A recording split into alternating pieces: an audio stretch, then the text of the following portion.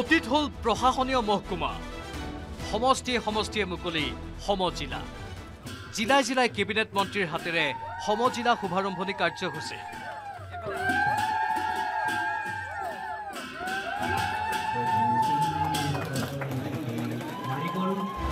ৰাজ্যৰ প্ৰশাসনিক ব্যৱস্থাৰ সংস্কাৰৰ বাবে ভৱিষ্যতলৈ গঠন নহ'ব প্ৰশাসনীয় মহকুমা।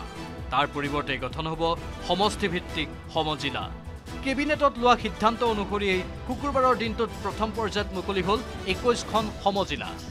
শনিবাৰৰ দিনটোত সংযোজন ঘটিব আন ওঠৰখন সমজিলাৰ। শুকুৰবাৰে মুখ্যমন্ত্ৰী হিমন্ত বিশ্ব শৰ্মাৰ নিৰ্দেশ মানিয়ে সমষ্টিয়ে সমষ্টিয়ে কেবিনেট মন্ত্ৰীসকলে মুকলি কৰিলে সমজিলাৰ কাৰ্যালয়।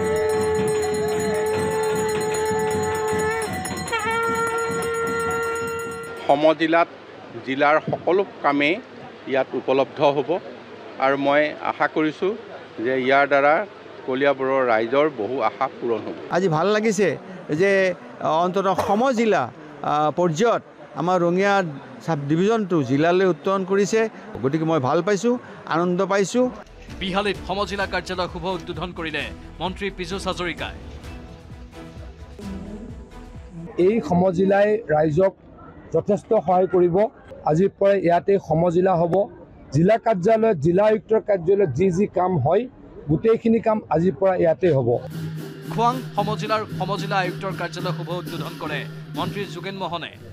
আজি তাৰিখৰ পৰাই যিকেইটা বিভাগ গভৰ্ণমেণ্টে ইয়াতে তেওঁলোকক চলাবৰ কাৰণে দায়িত্ব দিছে এজন অতিৰিক্ত আয়ুক্তৰ সৈতে আজিৰ পৰাই তেখেতে কাৰ্যভাৰ চলাই যাব। সীমান্ত জিলা কৰিমগঞ্জত নতুনকৈ ৰামকৃষ্ণ নগৰ আৰু পাথাৰকান্দি সমজিলা মুকলি কৰিলে মন্ত্ৰী জয়ন্ত মল্ল বৰুৱাই। সঁচাকৈ ৰাইজৰ কাৰণে এই ধৰণৰ এটা সেৱা দিবলৈ পাই আনন্দ অনুভৱ কৰিছোঁ মাননীয় মুখ্যমন্ত্ৰী হিমন্ত বিশ্ব শৰ্মা ডাঙৰীয়াৰ দিনত। ৰাইজৰ প্ৰশাসনিক ক্ষেত্ৰখনত এটা ডাঙৰ সংস্কাৰ আৰু ৰাইজে ইয়াৰ পৰা বহুখিনি সুবিধা পাব।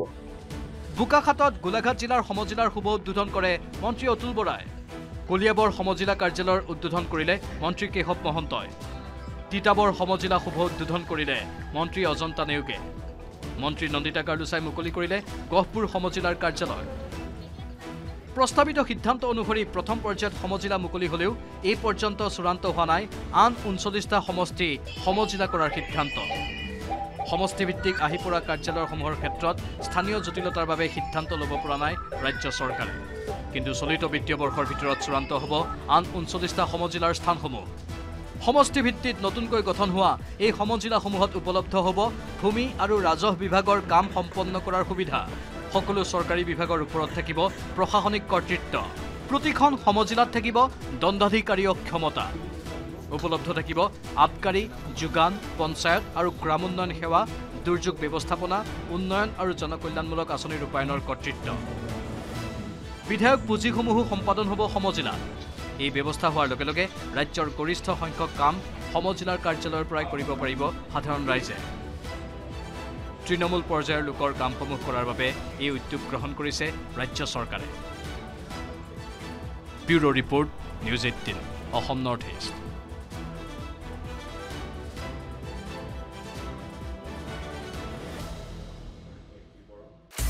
আপুনি বিচৰা বাতৰি পাব কেৱল নিউজ এইটিন এপত।